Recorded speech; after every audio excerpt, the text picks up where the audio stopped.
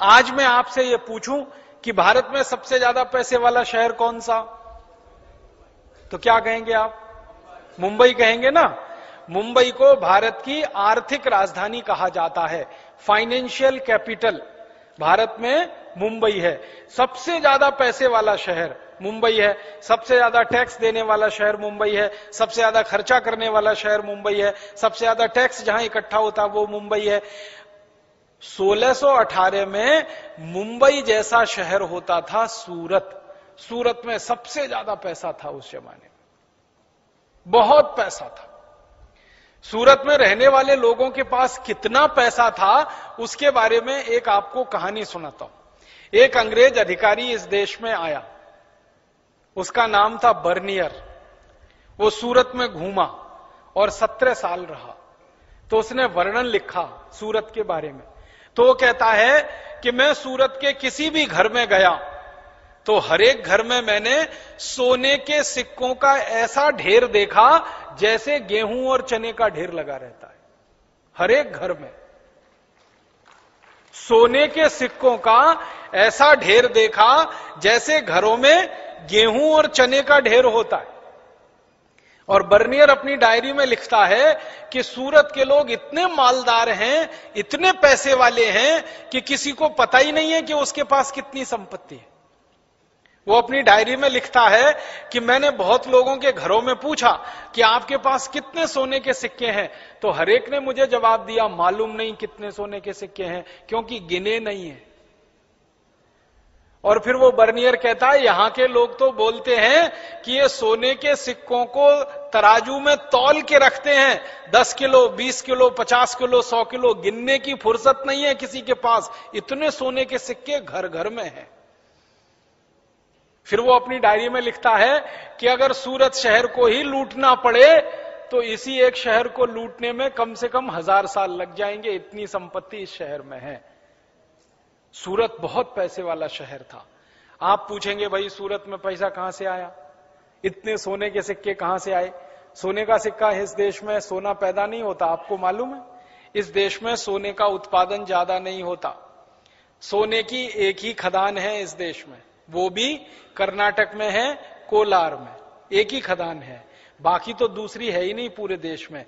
तो जिस देश में सोने की एक ही खदान हो, वहाँ लोगों के घर घर में सोने का ढेर लगा हो, ये कहाँ से आया? सूरत उस समय का सबसे बड़ा व्यापारिक केंद्र था। जैसे आज मुंबई है ना, व्यापार का केंद्र, वैसे सूरत था। भारत का सारा माल विदेशों में बिकने के लिए सूरत से ही जाता था, क्योंकि सूरत में बहुत बड़ा बंदरगाह हुआ करता था। तो भर भर के पानी के जहाज़ भारत का माल सूरत से बाहर जाता था विदेशों में। और हमारा माल दुनिया के जिस देश में भी जाता था बिकने के लिए, वहाँ हम अपना माल बेचते थे और बदले में सोना आता था हमारे देश में। कारण क्या था? सोलहवीं शताब्दी और सत्रहवीं शताब्दी में व्यापार में जो माध्यम था ना एक्सचेंज का, वो सोना था। जैसे आज व्यापार में माध्यम है रुपया। आप कोई चीज़ खरीदते हैं, रुपए से। कोई चीज़ बेचते हैं रुपए में, सोलहवीं और सत्रहवीं शताब्दी में कोई चीज़ खरीदी जाती थी सोने में, और कोई चीज़ बेची जाती थी सोने में। तो भारत से तरह तरह की चीज़ें बिकने के लिए जाती थी, उसमें सबसे ज़्यादा बिकने के लिए जाता था कपड़ा भारत का, क्योंकि भारत में कपड़ा सबसे अच्छी क्वालिटी का बनता था, सत्रहवीं शताब्दी में। आपको मालूम है भारत के कपड़े की कहानी यहाँ पे ढाका की मलमल बनती थी। मलमल नाम सुना है? मलमल एक खास तरह का कपड़ा होता है। ढाका एक शहर था इस देश में, जो बांग्लादेश का अभी हिस्सा हो गया। पहले वो भारत में था। तो ढाका की मलमल बनती थी और पंद्रह मीटर लंबा मलमल के कपड़े का थान तह करते जाओ करते जाओ करते जाओ तो माचिस की एक डिब्बी में आ जाता था। इतनी बारीक बुनाई होती थी मलमल की। ढाका में मलमल बनती थी, सूरत में मलमल बनती थी, मालवा में मलमल बनती थी। आप में से कुछ कार्यकर्ता आए हैं मध्य प्रदेश से? मध्य प्रदेश में एक इलाका जिसको मालवा कहते हैं, इंदौर है, उज्जैन है, रतलाम है तो मालवा में ज़बरदस्त किस्म का कपड़ा बनता था। भारत में ऐसे साढ़े तीन सौ से ज़्यादा बड़े शहर थे जहाँ कपड़ा बनाने के बड़े बड़े केंद्र चलते थे। बहुत अच्छी क्वालिटी का कपड़ा बनता था। दुनिया में कोई इतना अच्छा कपड़ा बना नहीं पाता था जो भारत में बनता था। आप पूछेंगे, भारत के कपड़े में ऐसी क्या खासियत थी? कपड़े में खासियत यह थी कि भारत में कपास बहुत अच्छी क्वालिटी का होता था। कपड़ा बनता है कपास से, कपास हिंदुस्तान में सभी राज्यों में होता है। उत्तर, दक्षिण, पूरब, पश्चिम, एक भी राज्य ऐसा नहीं, भारत में जहाँ कपास नहीं होता। तो अच्छी क्वालिटी का कपास पैदा होगा तो अच्छा कपड़ा बनेगा। तो बहुत अच्छा कपड़ा भारत में बनता था, और वो कपड़ा दुनिया के सब देशों में बिकने के लिए जाता था। उसको बेचने के लिए पानी के जहाज़ लगते थे, उस समय हवाई जहाज़ नहीं चलते थे। तो सारे पानी के जहाज़ सूरत से कपड़ा भरकर विदेशों में जाया करते थे, और उधर से सोना लेके आया करते थे। आपको इतिहास की ये जानकारी दूँ तो आपको गर्व होगा। भारत का कपड़ा जब पेरिस में बिकता था, लंदन में बिकता था न्यूयॉर्क में बिकता था, वॉशिंगटन में बिकता था, अमेरिका के, कनाडा के आसपास के, यूरोप के देशों में बिकता था तो तराजू में रखा जाता था भारत का कपड़ा। तो जितने वज़न का भारत का कपड़ा होता था, उतने ही वज़न का सोना हमें मिलता था। अगर मान लीजिए हमने एक कपड़े का थान बेचा और वो एक किलो का है तो एक किलो सोना हमें मिलता था। हमारे कपड़े की इतनी ज़बरदस्त क्वालिटी थी। सारी दुनिया के लोग हमारा कपड़ा पहनते थे।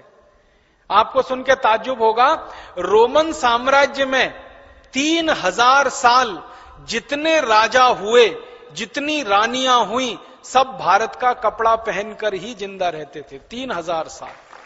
रोमन साम्राज्य में। और जब रोमन साम्राज्य का पतन हो गया, यूरोप और अमेरिका और ये कनाडा जैसे देश उभर आए तो फिर इनके यहाँ भारत का कपड़ा बिकने लगा। तो हमारा कपड़ा बहुत ज़बरदस्त बिकता था, उसके बदले में हमको सोना मिलता था। कपड़े जैसी ही एक दूसरी चीज़ अपनी बहुत बिकती थी दुनिया के देशों में, और वो थी भारत का लोहा, स्टील। हमारे भारत में कच्चे लोहे की बड़ी खदानें हैं। आप जानते हैं, कच्चा लोहा इस देश में बहुत होता है। उड़ीसा में भरपूर मात्रा में है, झारखंड में भरपूर मात्रा में है, कर्नाटक में भरपूर मात्रा में है, महाराष्ट्र में भरपूर मात्रा में है। भारत के बारह राज्यों में कच्चा लोहा बहुत अधिक मात्रा में मिलता है। तो लोहे की खदानें बहुत हैं। हज़ारों साल से कच्चा लोहा निकल रहा है और जिस देश में कच्चा लोहा निकलेगा, वहीं पर स्टील बन सकता है। स्टील बनाने के लिए कच्चा लोहा चाहिए। तो भारत में कच्चा लोहा होता था, हम उसका स्टील बनाते थे। और सत्रहवीं शताब्दी में बीस हज़ार से ज़्यादा फैक्ट्रियाँ थी जो स्टील बनाती थी इस देश में। और इस क्वालिटी का स्टील बनाते थे इस देश में, जिसमें कभी जंग नहीं लगता था। आज 21वीं शताब्दी में सारी हाईफाई टेक्नोलॉजी के बाद जो स्टील बनता है, उसमें जंग लग जाता है। आपको मालूम है? भारत के स्टील में जंग नहीं लगता था। और अगर आप उसका प्रमाण देखना चाहें तो दिल्ली के पास मेहरौली नाम का एक छोटा सा गाँव है। वहाँ एक लौह स्तंभ खड़ा हुआ है। उसको जाके देख लीजिए। उसमें जंग का एक निशान नहीं है। और सैकड़ों साल से वो पानी में, बारिश में धूल में, आंधी में धक्कड़ में खड़ा हुआ है। एक रंच मात्र उस पर कहीं जंग नहीं आया। इस क्वालिटी का स्टील इस देश में तीन हज़ार साल से बनता था। और वो स्टील हम दूसरों को बेचते थे। और आपको सुन के हैरानी होगी, स्टील बेचकर भी हम सोना ही कमाते थे। लोहा बेचकर हम सोना कमाते थे। लोहा बेचा और सोना लाया हमने। कपड़ा बेचा और सोना लाया। इसी तरह से भारत की एक चीज़ बिकने के लिए जाती थी दुनिया के बाज़ार में, वो थी ईंट। ईंट समझते हैं? घर बनाने वाली। सबसे बेहतरीन क्वालिटी की ईंट भारत में ही बनती है, पतली सी एकदम, जिसकी उम्र एक हज़ार साल तक है। आपने पुराने किले देखे हैं? शिवाजी महाराज के किले महाराष्ट्र में जाके देखिए, राणा प्रताप का किला आप देखिए, राजस्थान में जाके देखिए, चित्तौड़गढ़ में। जितने पुराने किले हैं, उसमें पतली पतली ईंट लगी हुई है ना, हज़ारों साल उसकी उम्र होती है। मोटी ईंट जल्दी टूटती है, पतली ईंट टूटती नहीं है जल्दी। तो वो पतली ईंट हम बनाते थे। दुनिया के बहुत सारे देश हमसे ईंट खरीद के ले जाते थे। ईंट को ईंट से जोड़ने के लिए हमारे यहाँ चूना बनता था, चूना। और वो चूना दुनिया के देशों में हम बेचते थे। तो हमारी ईंट बेचते थे तो भी हमको सोना चांदी ही मिलता था। चूना बेचते थे तो भी सोना चांदी ही मिलता था। कपड़ा बेचते थे तो भी सोना चांदी मिलता था। लोहा बेचते थे तो भी सोना चांदी मिलता था। भारत से मसाले जाते थे बिकने के लिए, वो तो आप सभी ने पढ़ा होगा। छत्तीस तरह के मसाले जाते थे, काली मिर्च जाती थी, अजवाइन बिकने के लिए जाती थी, इलायची बिकती थी, बड़ी इलायची बिकती थी, छोटी इलायची बिकती थी, तेजपात बिकता था। हमारे देश के 36 तरह के मसाले दुनिया भर में बिकते थे, और उसके बदले में भी हमको सोना चांदी, हीरे जवाहराती मिलते थे।